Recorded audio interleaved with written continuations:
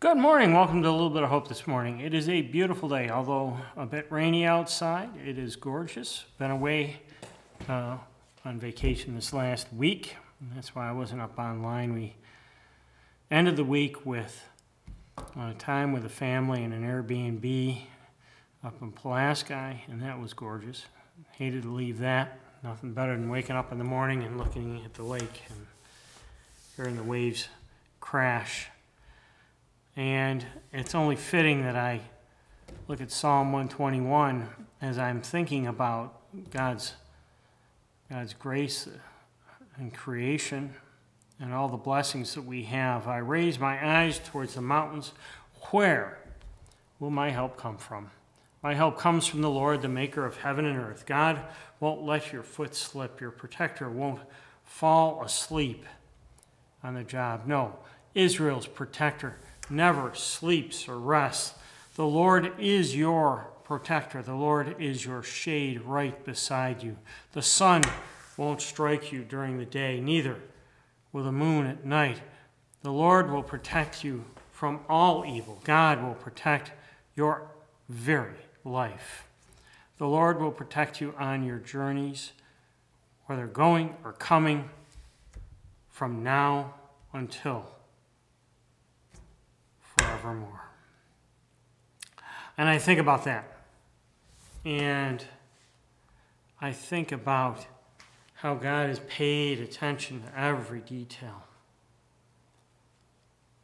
how things interact. It's interesting watching the waves, and the waves become closer together as they go up and over a sandy knoll in the water. The micro uh, organisms inside of the soil that cleans. If God is willing to pay so much attention to every detail like that, that God is willing to pay attention to every detail that goes on in us, through us, as a part of us because of God's grace and outpouring of love that will go the distance plus for each and every one of us. And if God knows every hair on our head, even if it's changing color or by chance uh, changing shape, then God won't let our foot slip. If we are obedient and reliant, if we allow God to be our protector and not do it ourselves, if we celebrate God, worship God in everything we do and say, then life would be completely different. It's hard, especially when we see all the conflict and chaos that goes on around us. Turn on the TV for that one, or look at the news. Let's pray. Dear Lord, we thank and praise you for this beautiful day you've given to us and for your great love. A love that is willing to hunt us down. Not because you need it, because you want us to have it. Lord, you will be our protector, our healer. You will be everything if we will let you. Our help comes from you. You will protect us from evil. And Lord, we need that right now. As the culture is changing and shaping our mindsets inside of the church and in everyday life, Lord. We need to be your lighthouse to the world, and Lord, we need your strength to do that. Continue to open our hearts and our minds, Lord, as you bless us and you care for us. As you will change culture itself if we are open to that. Where does our help come from, Lord? It comes from you. Hear our prayers. Help us to walk with you daily. Read your scripture. Infuse your words in our hearts. Lord, we thank you for vacations, for times away, but we also thank you, Lord, for returning for ministry, for opportunity. Continue to bless us here in this church and in your churches as a whole, Lord. Fill us. Lord, we need a revival. We need to experience you and worship you in every part of our life and our ministry. Lord, lay your hands upon those in need right now, whether it be food or some struggle. Continue to move in those settings, Lord. Heal these people as you did and those throughout Scripture. Lord, we lift to you those who are grieving today, who have lost a loved one, who struggle in any way, shape, or form. And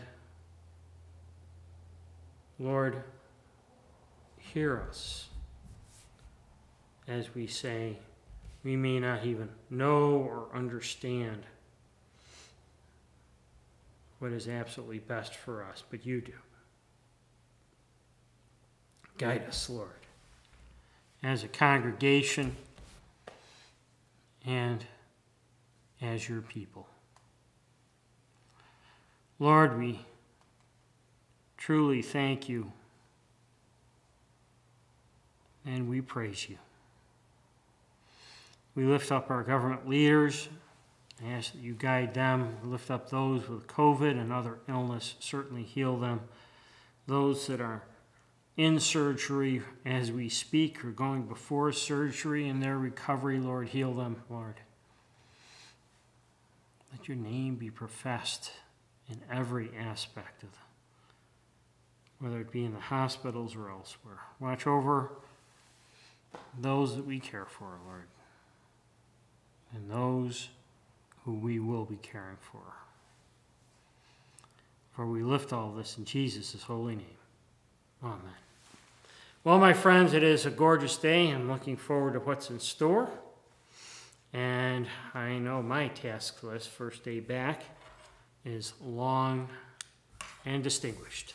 But that cross behind me is what I'm going to lean into today and every day. And with that, stuff that needs to get done will get done, and stuff that doesn't, well, my yoke doesn't have to be heavy. So, my friends, good morning. Thank you for joining. It's a blessing to spend this time with you again, and we'll be back in sequence, hopefully.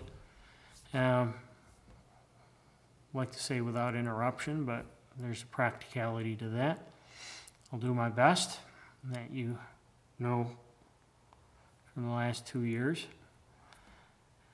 And until we see each other again, any comments, concerns, prayer requests, please leave them in the comments section below. Until we do see each other again, may the Lord bless you and keep you. May the Lord make his face shine upon you and be gracious to you. May you be blessed and be a blessing to others. Uh, certainly hope that you can share God's word today, a smile, enjoy God's blessings for all that they are and all that they can be, and share that as well.